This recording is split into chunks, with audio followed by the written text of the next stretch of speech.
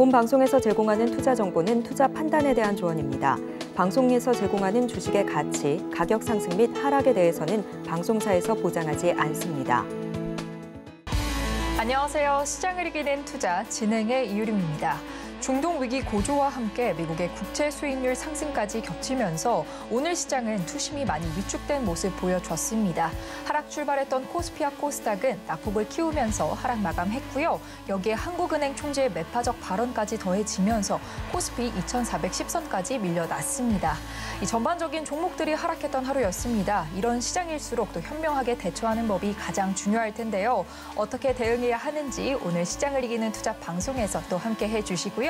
방송 외에도 김광진 전문가님과 더 많은 소통해보시고 싶으신 분들은요. 노란톡방 들어오셔서 전문가님과 24시간 소통 이어나가 보실 수 있는데요. 노란톡방 들어오시는 방법은요. 스마트폰 일반 카메라 실행하셔서요. 아래 하단에 보이는 QR코드 스캔하시고 뜨는 링크 클릭하신 후에 참여 코드 3333 입력하시면 노란톡방 들어오셔서 언제든지 김광진 전문가님과 함께 투자 전략 소통해 보실 수 있고요. 문자로는 받는 번호 샵 0082로 이기자라고 세 글자만 보내주시면 참여 링크 문자로 보내드리고 있으니까요. 많은 참여 부탁드리겠습니다. 참고로 본 방송에서 제공하는 정보는 투자 판단에 대한 조언일 뿐 해당 주식의 가치와 수익률을 보장하지 않습니다. 또 서울경제TV는 자본시장법을 준수하며 일대일 투자 상담, 유사 수신행위 등 모든 불법사항을 엄중히 금지하고 있습니다. 마지막으로 서울경제TV, 서울경제신문은 당사의 브랜드입니다. 최근 당사를 사칭한 피해가 크게 늘고 있으니 이 점도 각별히 주의하시기 바랍니다. 그럼 시장을 이기는 투자, 오늘도 힘차게 달려봅니다.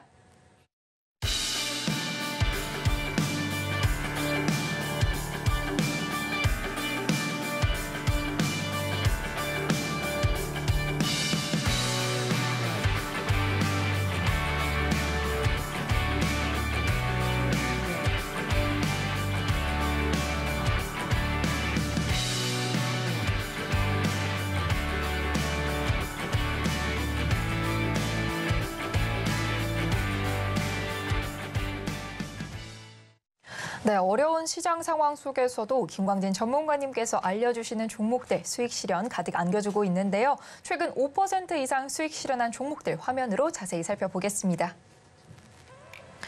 가장 먼저 어마어마한 누적 수익률 기록 중인 루닛 5.41% 최근 수익 실현해 주었고요. 이어서 알테오젠 그리고 우듬지팜이 이 어려운 흐름 속에서도 6%의 수익 실현해 주었습니다. 여기에 바이오다인이 수익 8% 달성해 주었고요. SY 6% 이상의 수익 실현해 주었습니다. 계속해서 살펴보겠습니다. 다음 장 한싹이 12.45%의 수익 실현을 이어서 10월 10일 편입된 레뷰 코퍼레이션이 12.53% 수익 실현하면서 두 종목 모두 10% 이상의 강한 수익 실현 나와 줬고요. 한올 바이오파마와 대성 하이텍 모두 5% 이상 수익 실현했습니다.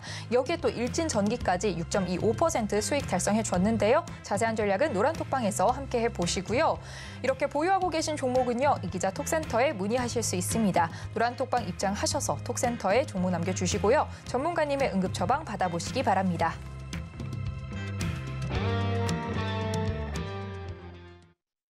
최근 5% 이상 수익 실현한 종목들 화면으로 자세하게 살펴봤는데요. 이제 본격적으로 시장을 이기는 필승 전략 알아보도록 하겠습니다. 오늘 시장의 필승 전략 화면으로 만나보겠습니다.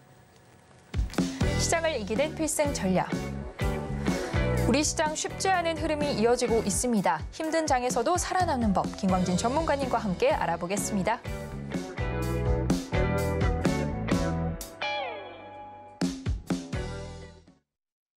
네, 오늘의 필승 전략은 이 벼랑 끝에서 살아남는 법 준비되어 있는데요. 바로 김광진 전문가님 모시고 얘기 나눠보도록 하겠습니다. 전문가님 안녕하세요. 네, 안녕하세요.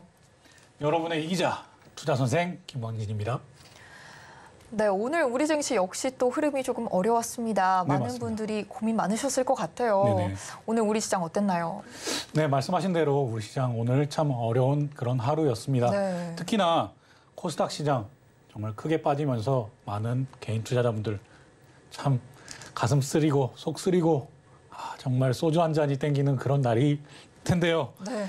오늘 우리 주식 시장 코스피 같은 경우에는 1.90% 하락하면서 2,415포인트, 코스닥 시장은 3.07%나 하락하면서 784포인트를 기록했습니다. 이렇게 코스닥 시장이 많이 하락할 때 특히나 개인 투자자분들 많은 어려움 겪으신다는 걸 잘 알고 있습니다. 오늘 우리 그 시장이 이렇게 하락 나온 것은 뭐 많은 분들 이미 잘 알고 계시다시피 이스라엘과 하마스의 전쟁이 격화된다. 이런 내용들 또 거기에 더해서 이것보다 더 중요한 게 뭡니까? 금리죠, 금리. 시장 금리 무엇 때문에 결정됩니까? 네. 미국 제 10년물 금리가 4.9%까지 올라가면서 전체적으로 시장의 금리를 끌어올리는 이런 역할을 했습니다.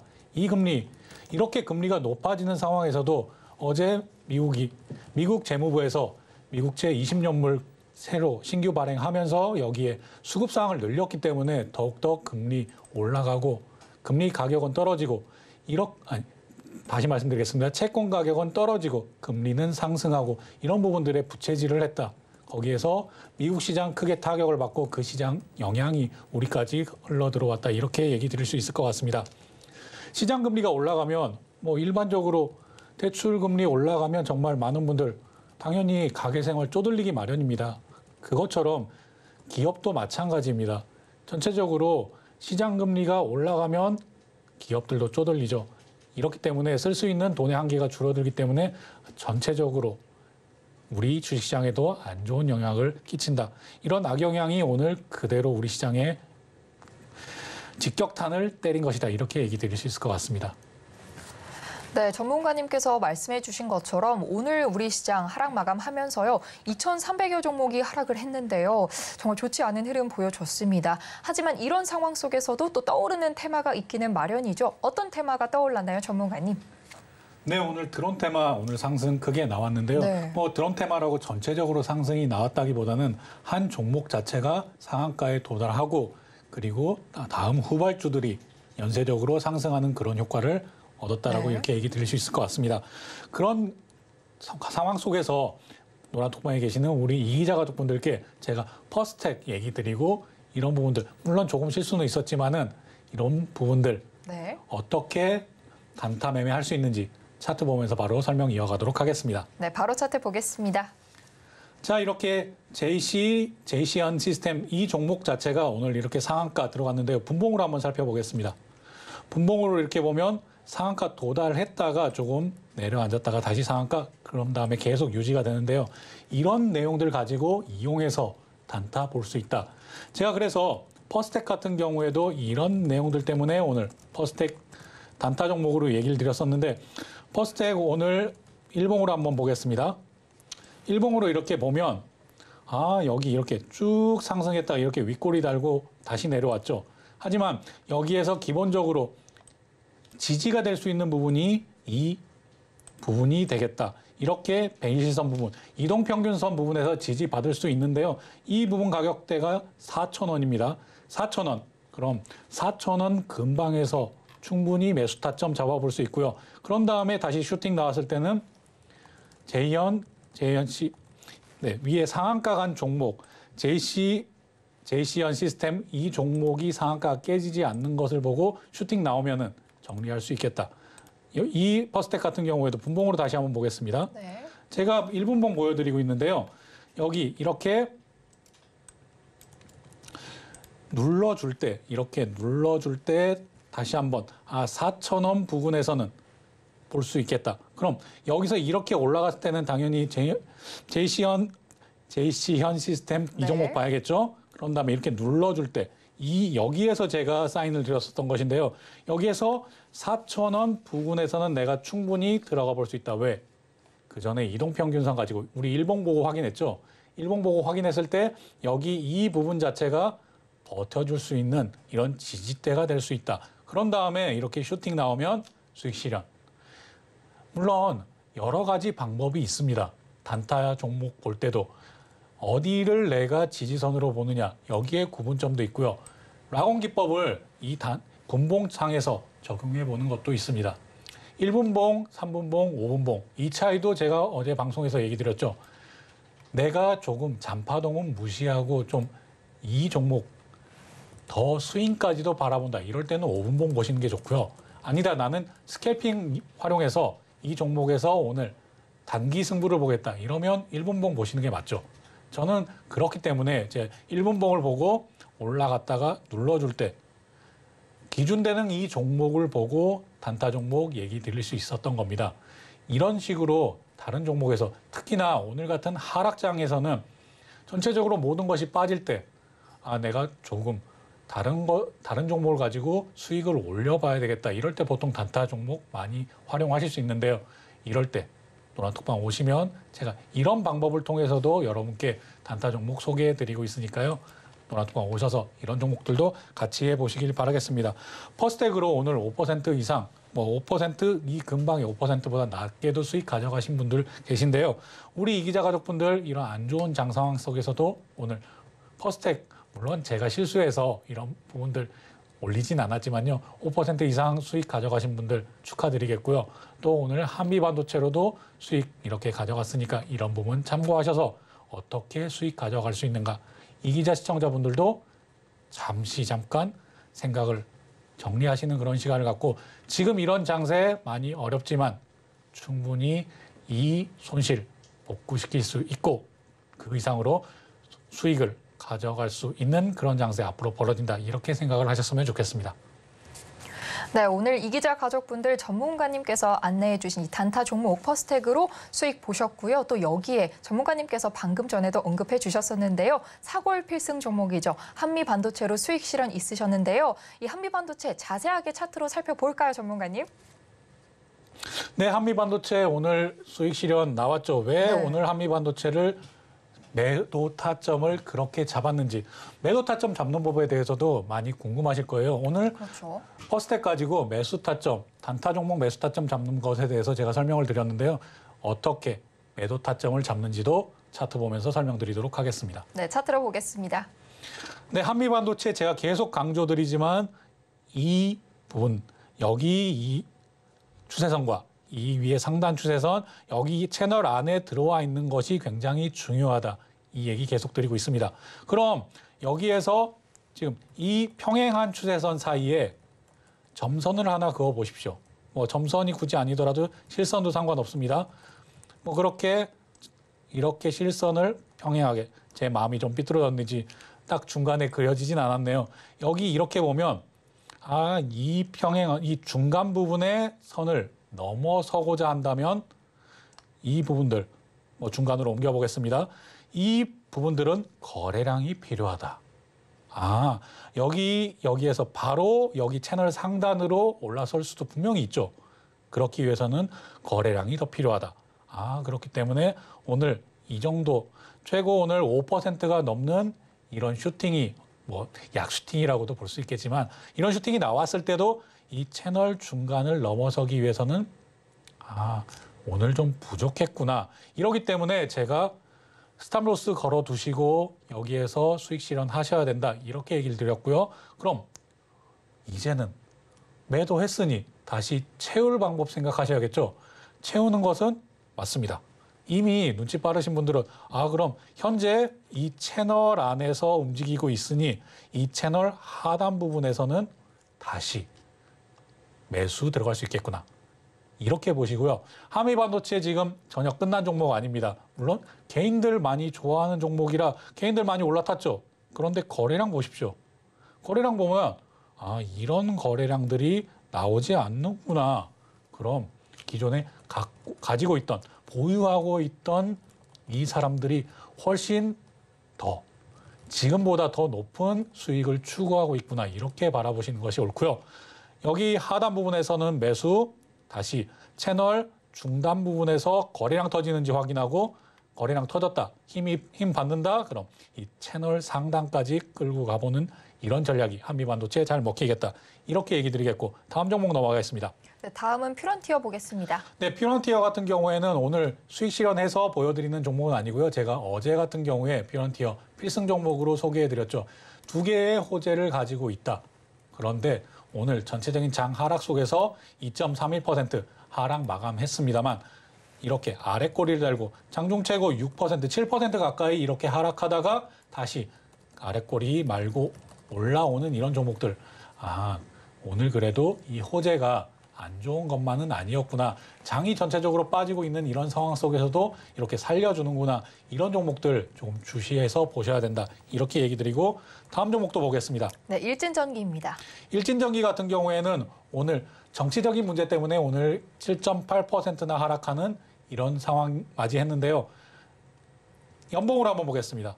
네, 연봉으로 봤을 때 15,730원. 여기가 역사상 신고가죠. 일봉으로 다시 돌아가서 어제가 신고가 찍고 오늘 이렇게 하락 내려왔다라고 얘기 드릴 수 있을 것 같습니다. 제가 이렇게 얘기 드리는 부분은 일진전기 정치적인 문제 때문에 그러니까 인천 지역에 내, 뭐 확장해서 늘리고 싶은데 이 부분에서 조금 노이즈가 발생을 했습니다. 그렇기 때문에 시장이 하락하는 과정 속에서 오늘 이렇게 툭 떨어진 것이다. 하지만 여기에 대해서는 재룡전기라든지 효성중공업 이런 다른 변압기 관련된 주식들이 전체적으로 빠졌는지 올랐는지 같이 주시하면서 여기에 대해서 더 궁금해서 일진전기 지금 이 정도 내려왔으면 다시 한번 도전해 볼 수 있나요? 네, 노란톡방 오셔서 저와 같이 해보신다면 제가 이런 부분들도 자세히 설명드리도록 하겠습니다. 네, 그리고 오늘 노란톡방에서는요, 전문가님께서 이 2차 전지 대장주 에코프로에 정찰병을 투입하자는 신호를 주시더라고요. 어떤 내용인지 또 방송을 보고 계시는 시청자분들께도 설명해 주시면 좋을 것 같습니다. 전문가님. 네, 에코프로 같은 경우에 제가 이제 네. 우리 정찰병을 보내봐야 될 때다 이런 얘기를 방송을 통해서도 제가 계속 얘기를 네, 드렸었는데요. 맞습니다. 그 가격대가 얼마였는지 기억하시나요? 어, 제가 정확한 가격대는 기억이 안 나는데요. 전문가님께서 그 가격대가 오면 노란톡방에서 신호를 딱 주시겠다고 하셨었잖아요. 아, 기억을 못 하시네요. 네. 네, 제가 70, 79만 원대 그러니까 70만 원대 후반 그리고 80만 원대 초반은 우리가 충분히 정찰 정찰병을 보내볼 수 있는 이런 가격대다라고 얘기를 드렸는데요. 네. 그렇게 얘기 드린 이유 차트 보면서 얘기 드리도록 하겠습니다. 네, 에코프로 보겠습니다. 네, 물론 에코프로 이렇게 차트 제가 띄워놨는데 에코프로 여러 가지 방법이 있습니다. 뭐 피보나치 되돌림이라든지 그 외에 다르게 볼 수도 있는데요. 저는 한번 이렇게 거래량이 터진 이후에 이런 가격대 정도 한번 보겠습니다. 네. 이렇게 네 개 채널로 보면은요. 여기 이렇게 상승했던 이 상승폭의 절반 정도 내려왔다는 거 확인하실 수 있습니다. 그럼 정말 이 꼭대기에 사신 분은 네, 반, 뭐, 속된 표현이지만, 네, 뭐, 속된 표현 쓰지 않겠습니다. 네, 절반 정도 손해 보신 걸로 이렇게 나오고 있죠. 피보나치 되돌림에서도 이 강도의 근처의 가격에서는 충분히 매수 바라볼 수 있다. 그래서 노란톡방에 계신 우리 가족분들께 제가 79만 8천 원에서 79만 5천 원 사이 여기 우리 정찰병 한번 보내보자. 크게 비중 실을 것 없고 적은 비중으로 정찰병 보내보자 이렇게 얘기 드렸었는데요. 여기 이렇게 잘 오늘 정찰병 안착시켰다라고 얘기 드릴 수 있을 것 같습니다. 그럼 에코프로 지금 당장 부익자로 반등이 나오느냐? 저는 그렇게 보진 않습니다. 그렇게 본다면 당연히 정찰병을 보내는 것이 아니라 네, 왕창 비중을 실었겠죠. 여기에서는 이런 기간 조정, 가격 조정, 그리고 거래량 조정이 어느 정도 이루어졌는가. 여기에 대해서 이 세 가지 조정이 마무리가 되는 시점이 당연히 반등할 수 있는 그런 포인트다. 이렇게 얘기 드릴 수 있겠는데요. 지금은 전체적인 장 상황이 좋지 않기 때문에 에코프로 바로 반등해서 급등할 수 있냐? 그건 어렵지만 오늘같이 전체적으로 시장 하락한 상황 속에서도 이 정도의 하락으로 선방할 수 있었던 내용은 역시나 미리 다 빠졌잖아요. 이렇게 미리 다 빠졌기 때문에 에코프로 지금은 하락 이 이상의 추가 하락을 두려워할 때가 아니라 지금은 정찰병을 보내고 그 이후에 내가 비중을 실을 수 있는 그런 타이밍을 보는 그런 단계다. 여기에 에코프로만 이렇게 제가 얘기 드리는 것이 아니라 전체적으로 코스닥 시장 이렇게 마찬가지로 대응하시면 되겠다. 이렇게 얘기 드릴 수 있을 것 같습니다. 네, 에코프로 차트로 자세히 살펴봤는데요. 오늘 또 지수가 그동안 올랐던 상승분을 반납하고 또 지정학적 리스크들도 커지면서 많은 개인 투자자분들 또 속상하고 걱정이 많으셨을 것 같습니다. 그렇지만 또 이번 주 내일장이 남아 있고요. 앞으로의 장들도 대비해 보면 좋을 것 같은데요. 앞으로의 장 어떻게 흘러갈까요? 네, 앞으로의 장 어떻게 흘러갈지 그 누가 알겠습니까? 우리나라 내부적인 문제만 따진다면 네. 당연히 이런 부분들 숫자로나 장 상황 그리고 전체적인 걸 대비해서 다 계산해 볼 수 있겠죠. 하지만 지금 우리 장의 하락은 우리 내부만의 문제가 아니라 대외적인 문제가 더 크게 작용을 하기 때문에 제가 네. 이런 말씀을 드리는 것인데요. 전쟁이 언제 끝날지 모르죠. 전쟁이 확산될지 확, 확전이 될지 아니면 줄어들지 여기에 따른 시나리오는 각각 세워야 합니다. 하지만 여기에 대한 시나리오에 따라서 대응을 해야 되는 그런 장세. 이렇게 천수답만 바라보고 있는 하늘만 바라보고 있는 천수답이 될수 있는 당연히 없겠죠. 그렇기 때문에 여러 시나리오를 구상해보고 얘기 드릴 수 있겠는데요. 뭐 그런 부분들 노란톡방에서는 제가, 제가 더 자세하게 얘기 드리겠지만 이 부분 하나는 얘기 드리고 싶습니다. 분노에는 5단계가 있다라고 흔히들 얘기합니다. 부정, 분노, 타협, 우울, 수용 단계가 있는데요. 많은 분들 특히나 주식 투자 경험이 오래되신 분들은 이 5단계 부정을 넘어서 분노를 넘어서 타협하고 우울하고 그것을 수용하고 수용한 다음에 주식 물려 있는 종목 전부 다 던져 버릴 때 그때 조금 직후가 아 돌아 돌이켜 봤더니 그때가 저점이었구나 이런 것들 정말 경험을 많이 하셨을 텐데요. 지금 많은 분들이 우울을 넘어서 그냥 수용하고 일부는 던져버리고 이런 단계에 와 계신다는 거 잘 알고 있습니다. 하지만 우리 이기자 시청자분들 지금은 주식을 던져버릴 때가 아니라요. 지금은 주식 비중을 늘릴 때다. 이렇게 얘기를 드릴 수 있겠습니다. 정말 제가 20년 전보, 전부터 주식 투자하면서 수도 없이 봤던 단계인데요. 이렇게 다 던져버리고 나서 바로 반등이 나오느냐? 그렇진 않습니다. 어, 너 버텨? 버텨? 이것도 버틸 수 있어? 이렇게 툭툭툭툭 더 건들기도 합니다. 그럼 지금 다 주식 던져버리셨던 분들은 그런 기회를 활용해서 다시 주식 담아보는 그런 매수의 기회로 삼아 보셨으면 하겠고요. 오늘 우리 우리나라 한국은행 금통위에서는 기준금리 동결 발표했습니다. 내일은 중국 대출 우대 금리 발표가 있고 또 내일 같은 경우에 미국은 옵션 만기를 맞이하죠. 그리고 삼성전자 메모리 메모리 Tech Day 그리고 유럽 종양 학회도 내일 날짜로 열립니다. 정말 힘든 장 이런 내용들 아 이런 일정들 내가 기다리면서 매매해도 되나 안 되나 이렇게 많이 고민하실 텐데요. 제가 계속 얘기 드리지만 20년 전부터 제가 계속 봐왔습니다. 이런 힘든 장 다들 던지고 뛰쳐나올 때 용기를 내고 공포를 이겨내는 사람이 100%, 200% 정말 그 이상의 수익을 맛보고 달콤한 열매를 맛볼 수 있는 그런 사람이다. 이렇게 얘기 드리겠습니다. 그래서 제가 지금같이 어려운 장에서도 여러분 도와드릴 수 있는 그런 종목들 준비해서 노란톡방에서 기다리고 있을 테니까요.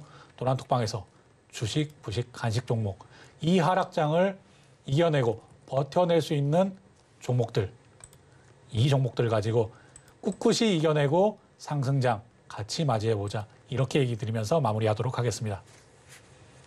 네, 오늘 시장 김광진 전문가님과 함께 살펴봤는데요. 이 오늘 같은 시장, 속에, 시장 속에서도 장 상황 보시고요. 단타 종목 안내해 주셔서 수익 실현해 주셨고요. 또 필승 종목 한미 반도체로도 수익 실현 나와줬는데요. 이렇게 하락장 속에서도 살아남는 종목들 함께 하시고 싶으시다면요. 노란톡방 들어오셔서 전문가님과 더 자세한 소통 이어나가 보시면 많은 도움 되실 것 같은데요. 노란톡방 들어오셔서 함께 하시는 방법은요. 스마트폰 일반 카메라 실행하셔서요.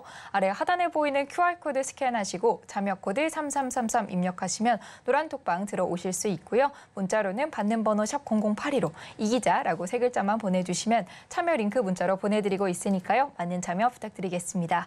저희는 계속해서 이기자 톡센터로 돌아오겠습니다.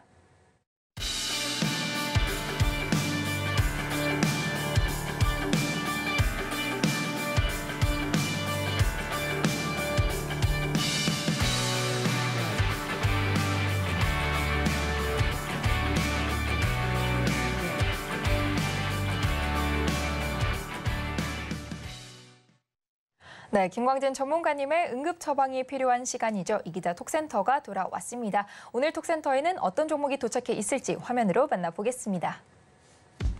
이 기자 톡센터. 오늘 도착한 종목은 포스코 DX입니다.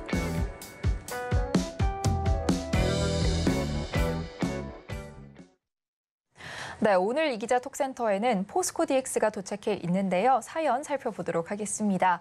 닉네임 힘내고픈 제인님께서 포스코 DX 매수가 55,200원에 비중 30%로 남겨주셨고요. 전문가님 다른 종목들 손실이 너무 커서 그나마 덜 손실을 본 이 포스코 DX를 팔아서 물을 타야 할지 고민이라고 남겨주셨습니다. 아무래도 물린 종목이 너무 많아서 걱정이실 것 같은데요. 어떻게 하면 좋을까요, 전문가님?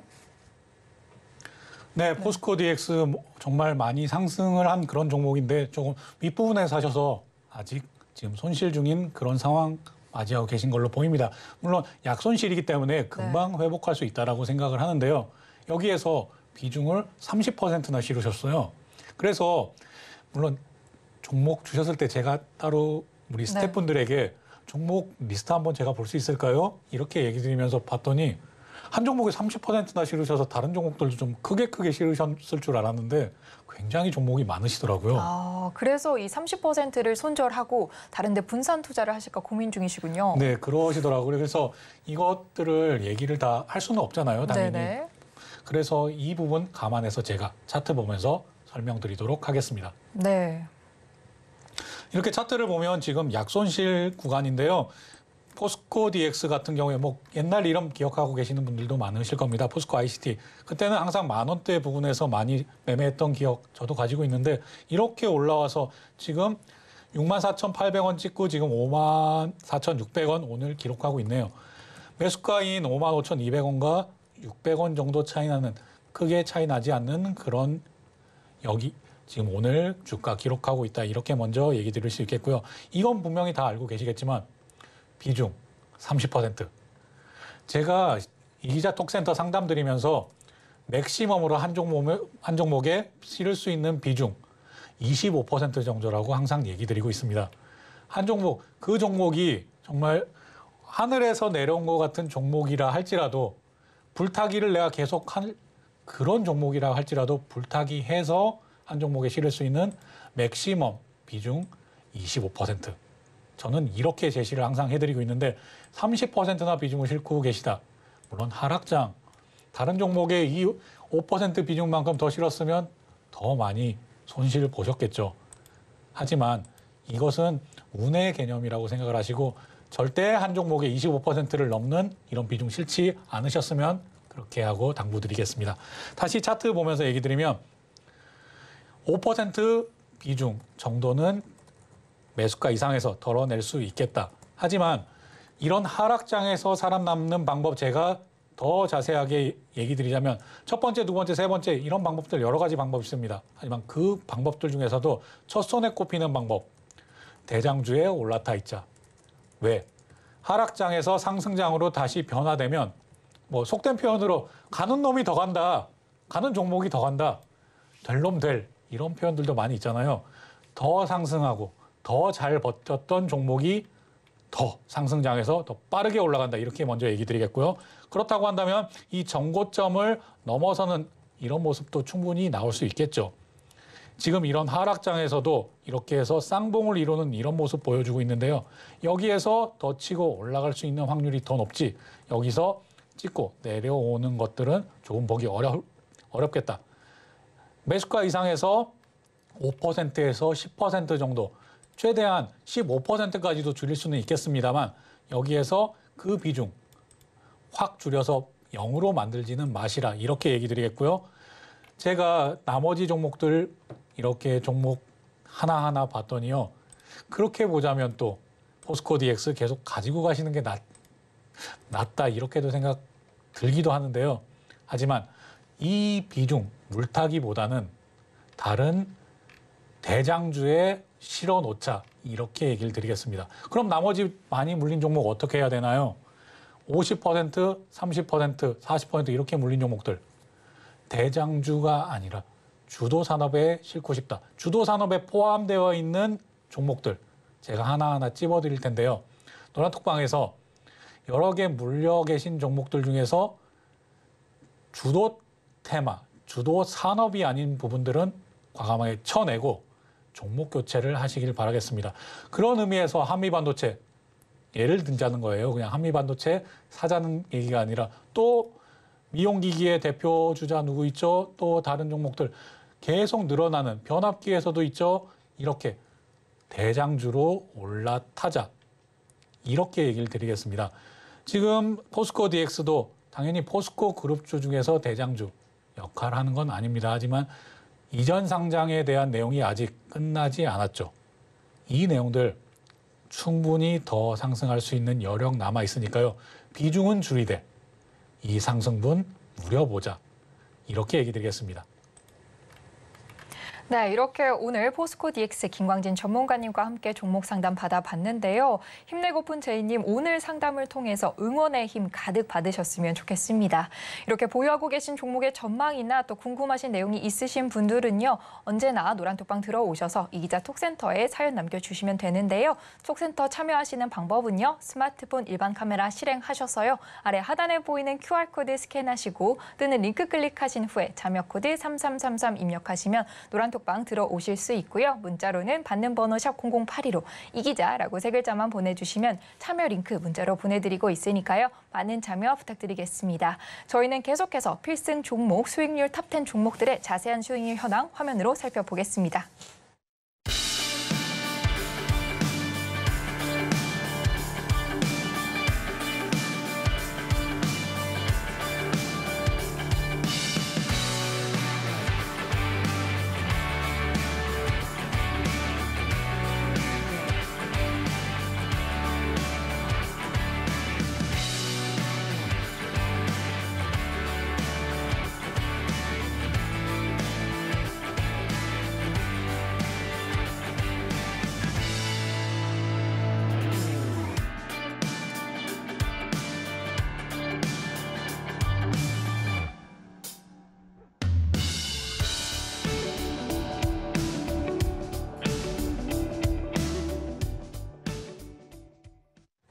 네, 시장을 이기는 투자 마지막 핵심 코너만을 남겨두고 있습니다. 김광진 전문가님의 차트 분석법을 배워보는 오늘의 필승 종목 시간인데요. 오늘의 필승 종목은 뭘지 화면으로 확인해 보겠습니다.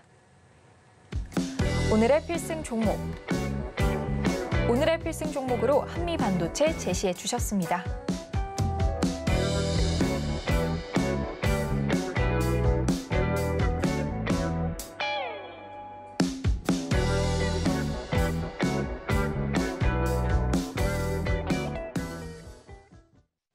네, 오늘의 필승 종목은 한미 반도체 준비돼 있는데요. 전문가님의 실패 없는 사골 필승 종목이죠. 오늘도 노란톡방에서 수익 실현이 있었습니다. 전문가님 한 번 더 주목해 주신 이유가 뭘까요?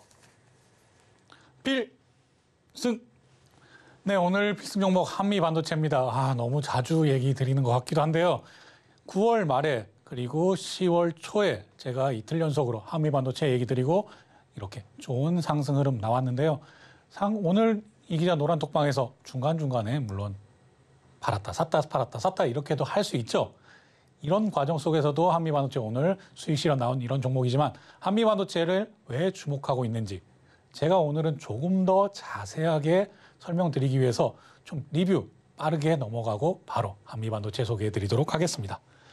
자, BSK 홀딩스 아직 오늘도 잘 버티고 있는 이런 종목입니다.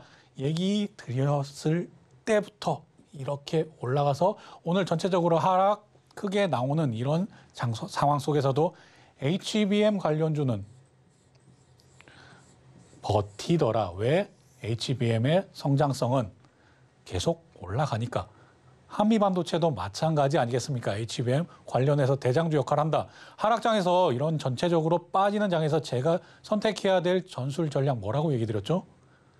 우선 대장주들로 옮겨 놓고 갈아타고 전체적으로 쫙 깔아놓은 다음에 그런 다음에 전체적으로 하락 떨어졌을 때도 내가 수익 올릴 수 있는 이런 단타 할 수 있겠죠. 물론 단타는 어렵습니다. 훨씬 하락장에서 단타 종목 나오는 것들 수익 보기 더 어렵죠. 그런 부분에서도 내가 이거 뭐 정말 못하겠다, 안 하겠다 이러면 하지 않는 것도 방법이지만 그런 부분들을 통해서 이런 하락장을 이겨낼 수 있는 희망과 수익을 가져갈 수도 있겠다. 이렇게 얘기 드리면서 바로 빠르게 빠르게 넘어가겠습니다.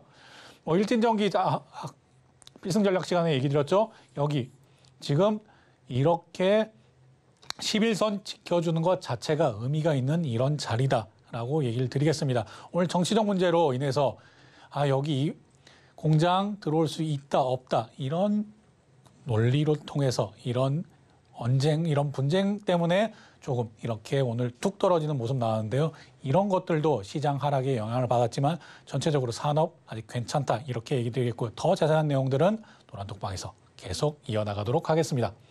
좀 빠르게 넘어가서 제가 오늘 필승 종목 한미 반도체에 대해서 왜 계속적으로 얘기 드리고 주목하고 있는지 이 이익담부터 보겠습니다. 아마 글씨가 잘 안 보이실 텐데요. 좀 저도 키워 보고 싶지만 제가 구두로서 말로서 얘기 드리도록 하겠습니다.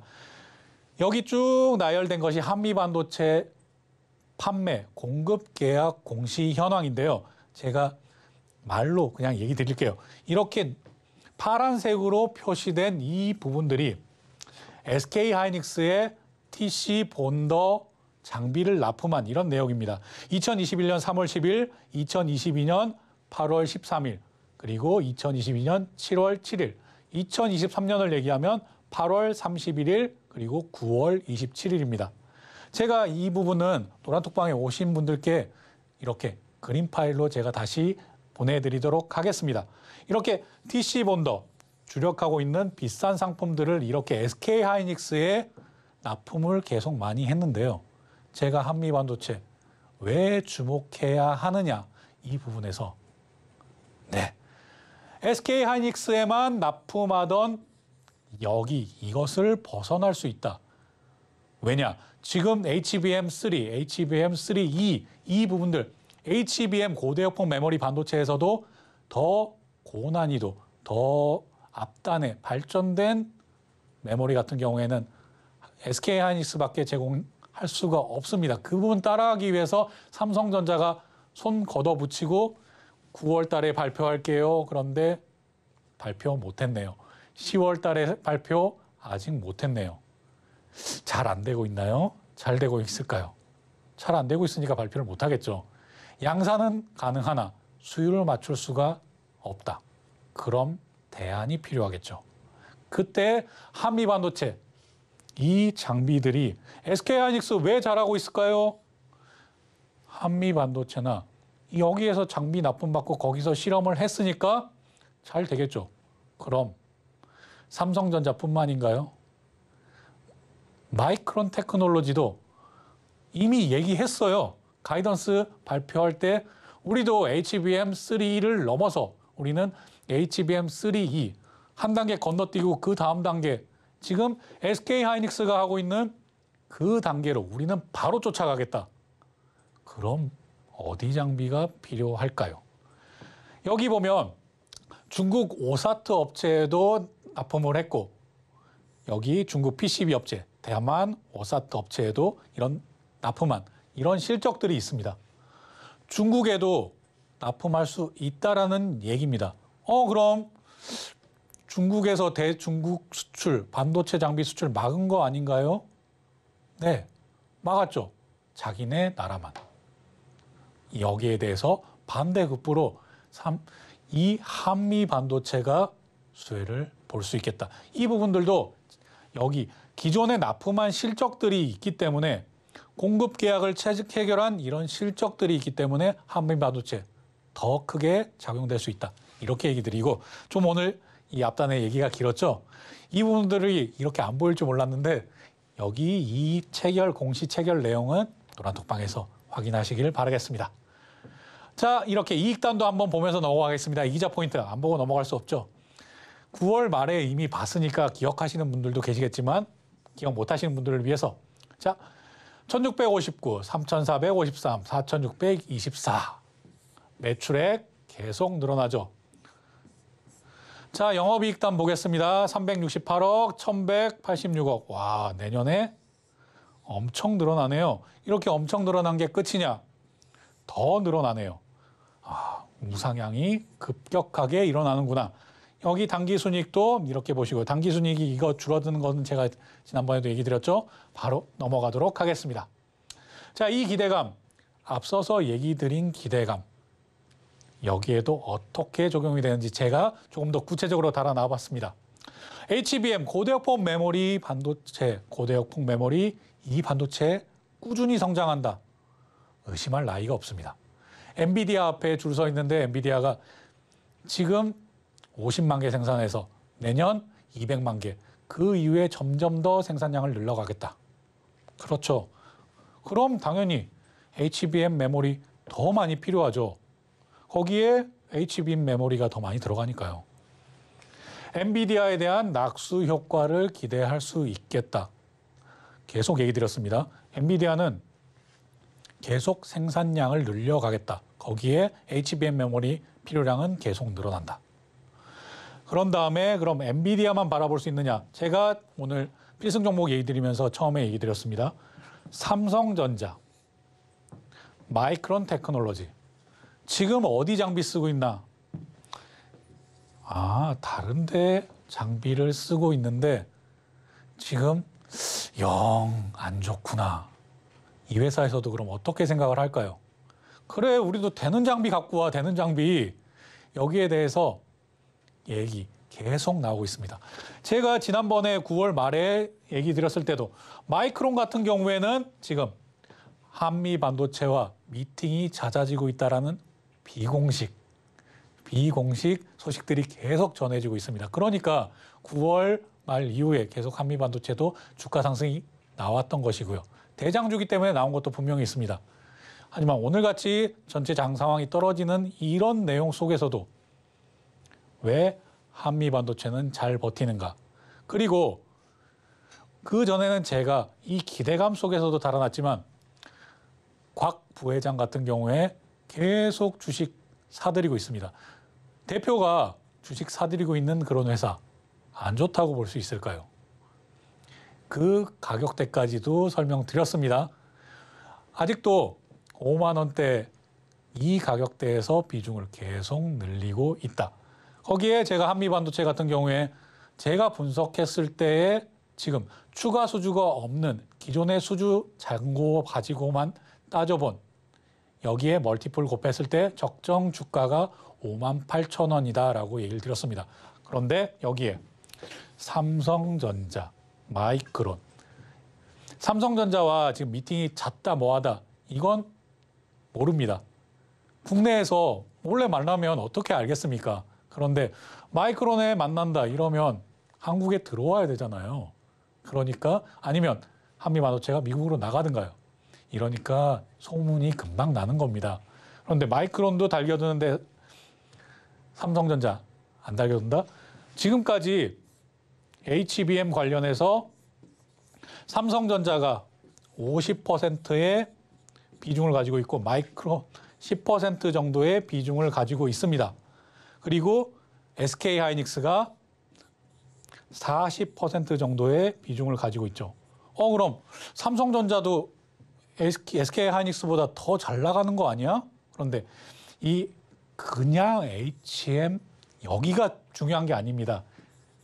HBM3 거기에 더해서 HBM3E 이것은 생산하는 지금 업체가 생산해서 양산이 양산 단계로 들어가서 수율이 좋게 나오는 업체 SK 하이닉스 하나뿐입니다.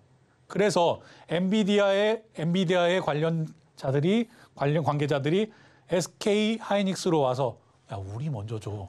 우리가 급행료 줄 테니까 먼저 줘. 급행료 받은 거 가지고 청주 공장 이것도 HBM으로 바꿔.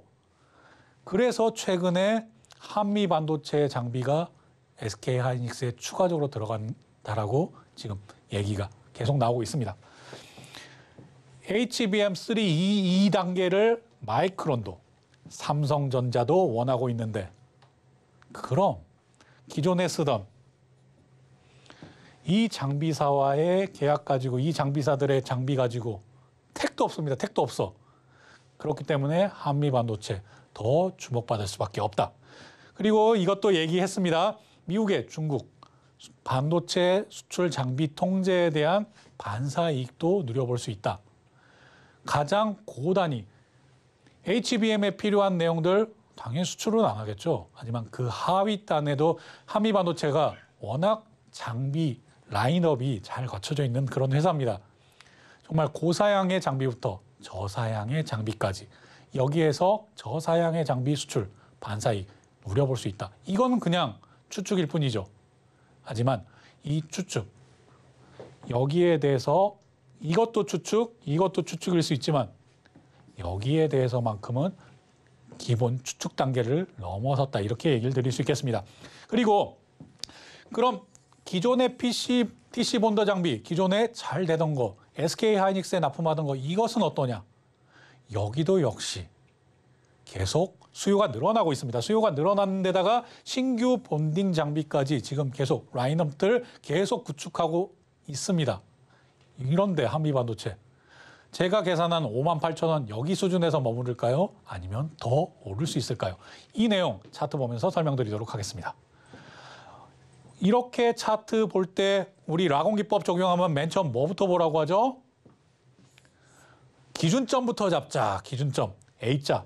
이 A자가 어디 있나? 아, 여기 63,300원이 기준점이 되겠구나. 그럼 63,300원 기준점 잡으시고 그런 다음에 제가 얼마를 한미 반도체의 적정 가격이라고 얘기 드렸나요? 5만 8천 원 정도가 추가 수주가 없었을 때의 적정 가격이다. 제가 5만 8천 원 얘기 드렸던 게 뭐 다시 쓸게요. 5만 8천 원. 5만 8천 원 얘기 드렸던 게 최근에 얘기를 드렸던 게 아니라 이때 그리고 여기에서 찍고 내려와서 이때 다시 한번 얘기 드렸습니다. 그렇다고 한다면 아 5만 8천 원 현재 끝 이걸까요? 그것이 아니라고 얘기 드렸기 때문에 제가 이런 얘기 드린 겁니다. 추가 수주가 가능한 이 가능성에 대해서도 시장은 평가가 들어간다. 주식은 현재 가치만 따지는 게 아니라 미래 가치까지 같이 들어간다라고 계속 강조드리고 있습니다. 이 미래 가치가 중요하기 때문에 여기에서 5만 8천 원을 넘어서 더 올라갈 수 있겠다. 이렇게 얘기를 드리는 것이고요. 다시 보겠습니다. 그럼 우리는 A자부터 봤다. 아, 현재에서 오버슈팅을 한 가격이 여기 가격이구나. 그런데 이 가격대에서 거래량 봐야 되죠. 여기서부터 거래량, 거래량 이렇게 체크했을 때 이 거래량 체크한 이 날짜에 누가 샀는지도 한번 체크를 해 보시길 바랍니다. 아, 여기서 여기서 이렇게 샀으면 이 거래량, 유통 주식수 이상 거래량이 나오든지 아니면 저 거래량 이상이 나오든지 그래야 매집했던 물량 다 던져버리고 남한테 던져버리고 뛰쳐나가겠죠. 그런데 그런 거래량이 보이지가 않는다. 지금 여기 이만큼 끌어올리고 오늘 6만 원 다시 넘어갔었습니다. 6만 원 위에서 저는 매도 사인을 드렸고요. 6만 원 위에서 매도하지만 제가 오늘 필승 전략에서도 얘기 드렸죠. 평행한 추세선 그 중간 값에도 점선이 있다라고 생각하시라. 그 점선 넘지 못하니까 제가 매도 사인을 드린 거고 그럼 우리는 밑단에서 다시 산다. 그 밑단이 어디인지 아까 필승 전략 시간에 보셨을 겁니다. 그렇기 때문에 우리 5만 8천 원, 이 적정 가격 여기 2단에서 5만 8천 원에서 그 아래로 더 떨어지면 5만 7천 원대에서는 thank you 하고 받아서 다시 한번 중간값까지 오늘 올라섰던 6만 천 원대까지도 1차적으로 바라보고 그 다음에는 밴드 상단까지도 우리는 바라보겠다. 여기에 대한 들어오는 거래량에 따른 전략들 노란 톡방 오셔서 같이 해보시기를 바라겠습니다. 오늘 이것으로 마치겠습니다. 감사합니다. 네, 김광진 전문가님의 차트 분석법으로 한미 반도체 더욱더 자세하게 공부해 봤는데요. 이, 이 기자 가족분들에게도 또 시청자분들에게도 너무나도 익숙한 종목이죠. 그만큼 전문가님께서 계속해서 강조해 주시는 데는 또 특별한 이유가 있겠죠. 당연히 노란톡방 들어오셔서 자세한 가격 전략 받아보시기 바랍니다. 노란톡방 들어오셔서 필승 종목들 함께 하시는 방법은요. 스마트폰 일반 카메라 실행하셔서요. 아래 하단에 보이는 QR코드 스캔하시고요. 참여 코드 3333 입력하시면 노란톡방 들어오실 수 있고요. 문자로는 받는 번호 샵 0082로 이기자라고 세 글자만 보내주시면 참여해 보실 수 있습니다. 끝으로 시장을 이기는 투자 오늘의 핵심까지 화면으로 확인해 보겠습니다. 오늘의 핵심입니다. 하락장에서도 시장을 이기려면요. 오르는 종목을 선별해 버티고 단타로 수익을 챙겨야 할 텐데요. 보너스 종목들 노란톡방에서 만나보시고요. 오늘 톡센터에서는 포스코 DX 상담 받아봤습니다. 차분히 기다리자는 응급 처방이 있었습니다. 마지막으로 하락장에 강했던 이 종목 그리고 상승장에 더 강한 오늘의 필승 종목은 한미반도체입니다. 참고로 본 방송에서 제공하는 정보는 투자 판단에 대한 조언일 뿐 해당 주식의 가치와 수익률을 보장하지 않고요. 또 서울경제TV는 자본시장법을 준수하며 일대일 투자 상담, 이사 수신행위 등 모든 불법상을 엄중히 금지하고 있습니다. 마지막으로 서울경제TV, 서울경제신문은 당사의 브랜드입니다. 최근 당사를 사칭한 피해가 크게 늘고 있으니 이 점도 각별히 주의하시기 바랍니다. 오늘 저희가 준비한 소식은 여기까지고요. 끝까지 함께해 주신 시청자 여러분 진심으로 감사합니다.